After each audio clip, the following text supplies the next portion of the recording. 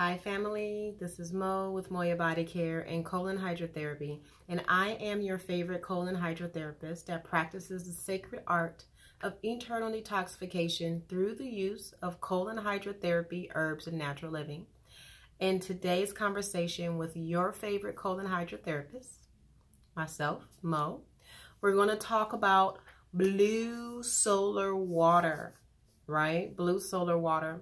So as you know, I always have my head in a book. I always have my head in a class. I'm always studying and studying and studying and reading and reproducing and reading and producing and reading and doing and uh, reading and teaching and all that good stuff. So the power is in the doing. The power is in the implementation of whatever you learn. So you can go out there and learn a thousand and one things, but if you don't share it with your audience, it's kind of pointless. And so Spirit always says, giving and receiving is the same.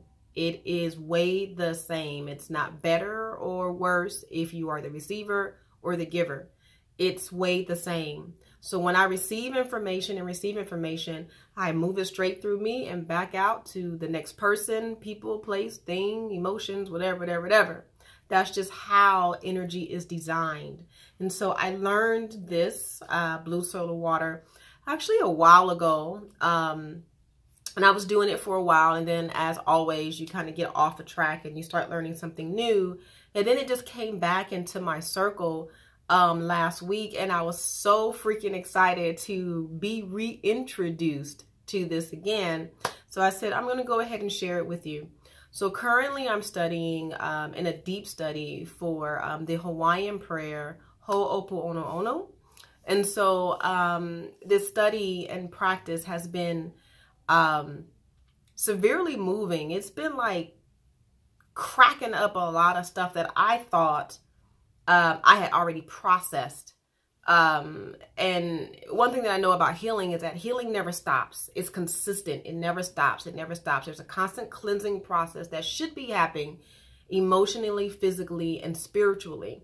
However, life happens. We are human. We are mothers. We are daughters. We are partners in life. We are husbands. We are wives. We are um, teachers. We are the doers. You, you, get where I'm going with this? So you, you kind of get off track. So to bring you back on track, I want to share with you uh, blue solar water. So these are the things that you're going to need um, for this blue solar water. And that is a blue glass bottle. Now you can get these beautiful cobalt bottles from anywhere.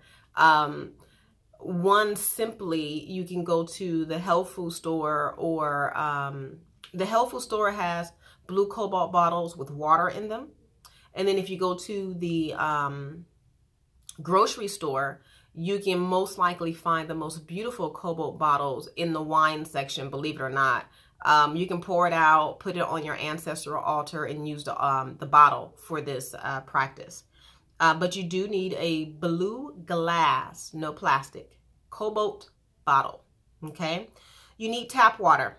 Now, when the directions were given from the founder of the Hawaiian um, prayer, when he was teaching this uh, recipe to his audience, one woman stood up, she raised her hand, she stood up, she was like, well, you know, do it does it have to be tap water? Can I use spring water? Can I use distilled water?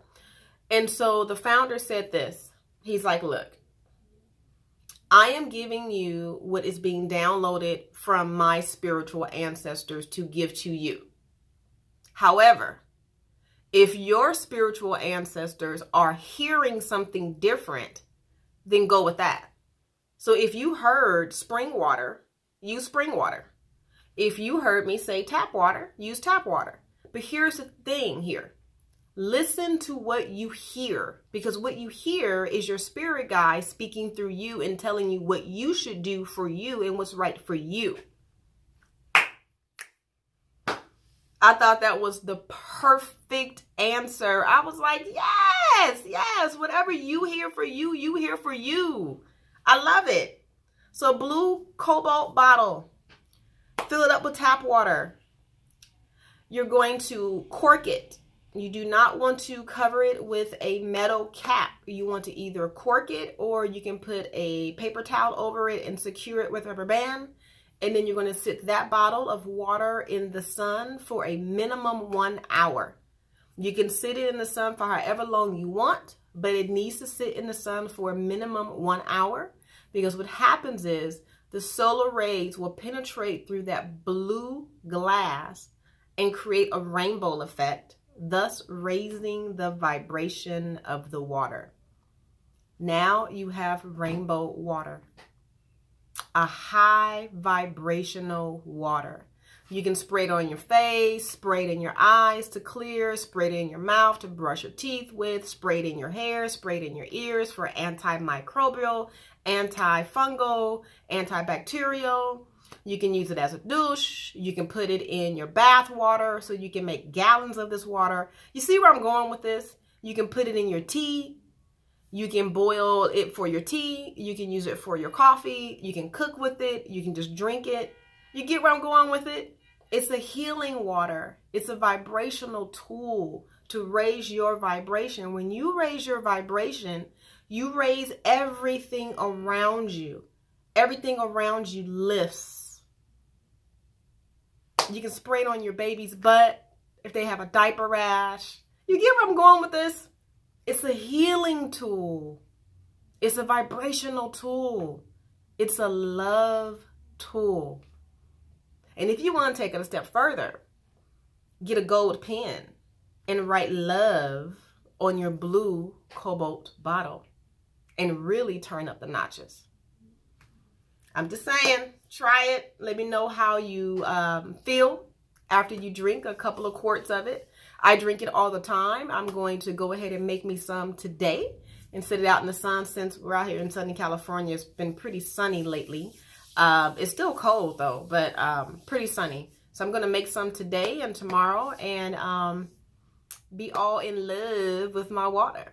So please share with me um, if you do this. Um, let me know how you feel. Let me know the experiment. Let me know if you shared it with people. And let me know what the response was. Okay? Until then, mwah, mucho besos. Enjoy.